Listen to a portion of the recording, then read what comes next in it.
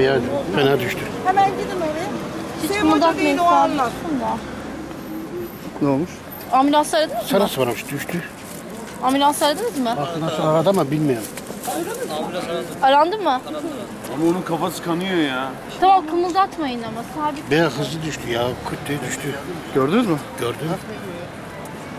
Tamam rahat olun. Burada karşı karşıyaydım. Ben bakıyordum öyle. kullanmıyor? Pat kendi bitti düştü aşağı. Ne? Beyni üstüne düştü bak kafasını üstüne düştü. Düzenli kullanmıyor demek. İyi şu an. Sa- Sarı geçti. Tamam. Teyze sarı hastası mı? Onun, onun oğlu. Tamam ç- ayrılabilirsiniz. Ayrılabilirsiniz. Ayrılabilirsiniz. Yenge konuş bakalım bu şey yapayım mı? Tamam tamam. Tamam. Konuşmuşsa Ee, iyi olur kendine yani. geldin tamam mı? Şimdi 112'den de gelecekler. Korkma. Hadi bakalım. Rahat mısın? Tamam. Biz de ablacık insanın yanında durmuyor. Kaya ol sen Tamam de şey yapma yenge tamam rahatsız etme. Sen asıp benim yanımda Annesi, dursana.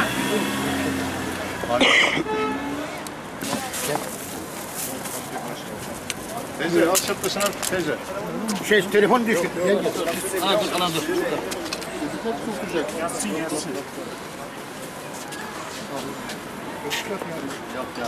Başında ka- iyisin değil mi? Az bekle, e, oraya muhakkak pansuman yaptır. Tamam mı canım? Bak ambulans gelecek. Gerekirse annen göndermezse burada yap. Tamam Tamam. Şeysinin bakımını yaptır.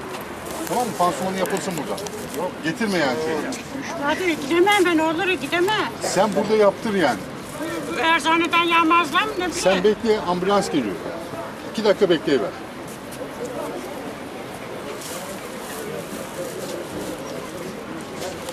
Bir şey olursa bana söyle ben yardımcı olayım sana. He? Ne kadar süredir sarı hastası? Zaten doğuştan var. Doğuştan.